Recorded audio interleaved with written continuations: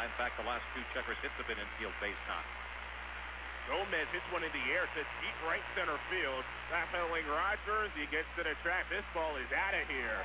Brawlun Gomez a two-run blast. Pulls the Chukars within 12 to 4.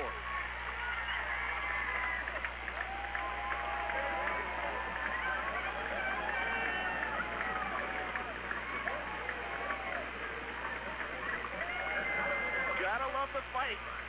Being down by eight. Brawlun Gomez's fourth long ball of the season, which puts him now second on the team.